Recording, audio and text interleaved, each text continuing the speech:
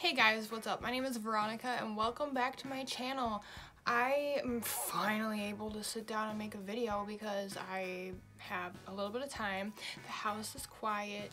I am battling people that are always constantly loud or someone's always here and I have no time to sit down and film because someone's always in some room of the house and I can't kick them out.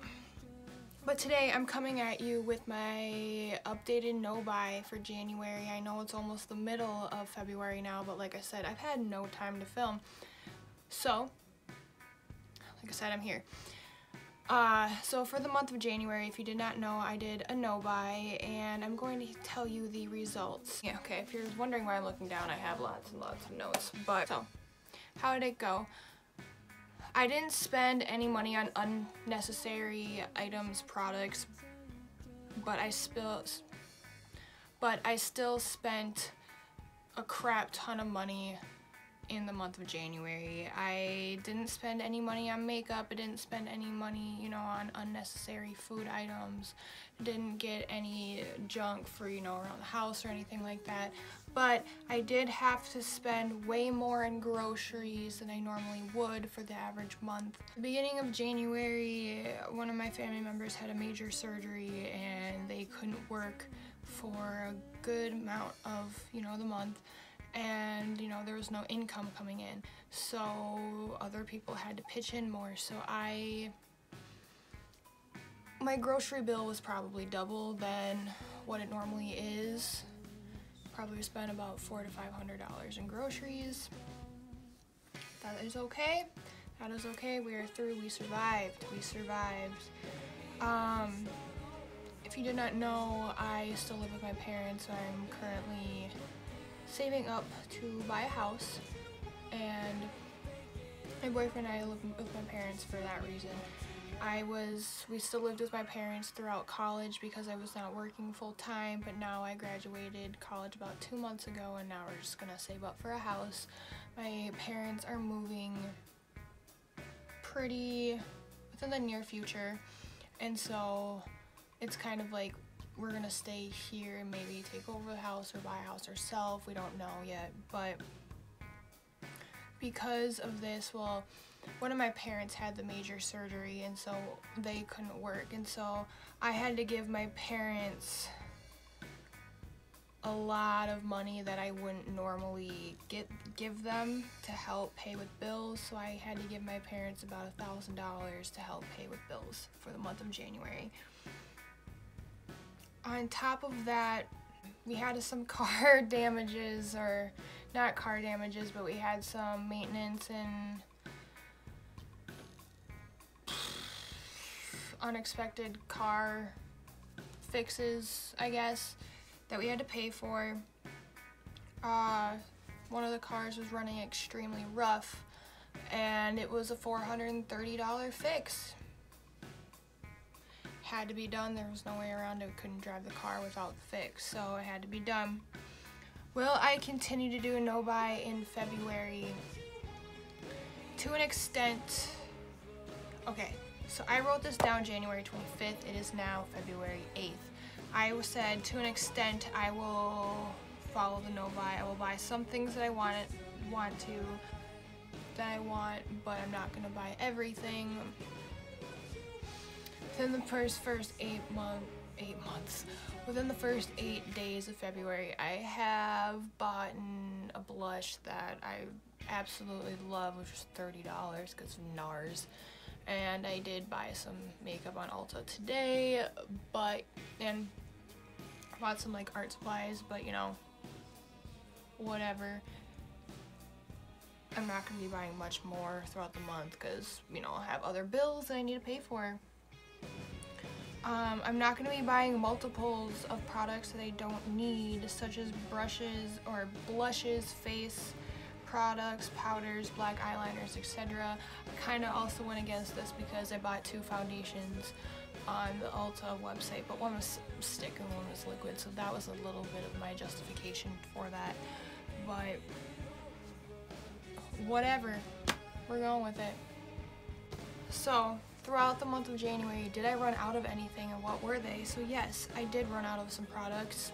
You know, uh, luckily I did rebuy in beginning of February and most of these products I ran out towards the end of January so it wasn't that big of a deal but I did run out of concealer towards the middle of January luckily I had an extra in my makeup case so I just switched to that that was not a big deal I did run out of setting spray. I did have to repurchase that. That was maybe like five days before the end of January. I ran out of eye cream. Luckily, that was not in January. That was the very, very end, so I waited until February and went out and got some. I ran out of liquid contour, so I, I don't want to say I ran out of liquid contour, but just the liquid contour I was using, I absolutely hated. It was way too dark for me. So I waited to the end of the month and I bought some more. And I think this liquid contour is a little too light, so I bought another liquid contour today. Or it's more like a contour stick, so we'll, hopefully that works, but we'll see. It looks a little dark, but it was like the lightest, darkest option, so... Well, like it's a contour stick, and it was like the lightest option for the contour colors, if you feel me. So, that was that. I ran out of shaving cream at the very beginning of January. I did not repurchase that until yesterday, so you know, it was whatever. I just used conditioner or some, you know, really hydrating body wash. It wasn't that big of a deal. It's winter. It's not like I'm shaving my legs every day, every other day, so whatever. I didn't really care. The last thing I ran out was windshield wiper fluid. I ran out in you know the middle of January I live in Minnesota it is winter it snows. That is something that you have to repurchase basically the minute you run out. You do not want to be out of windshield wiper fluid. Windshield wiper windshield wiper fluid it's only a couple bucks so I mean it's not a big deal. I normally buy two jugs keep one in my car put one in the breezeway so there we go there we go. There's other things that I ran out of, you know, after I made this list, but before the end of January, I ran out of one of my eye pencils. I repurchased one the eye pencil before January started, so luckily I had that. Um, I ran out of uh, mascara. I already have another mascara that I was also using, so I just, you know, threw it away. I ran out of a foundation. I, you know, I just threw it away and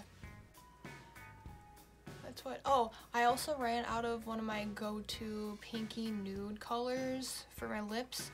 And also, I repurchased that before January. I repurchased that in like the beginning of December because I noticed it's starting to get a little bit lighter and harder to apply. So I repurchased that beginning of December and luckily I just broke into that like week and a half ago. We're good to go. So that is how my January no buy went. I, like I said, I did have to buy a bunch of other things not, you know, not pertaining to unnecessary items. Like I said, I had to pay my parents because of the major surgery.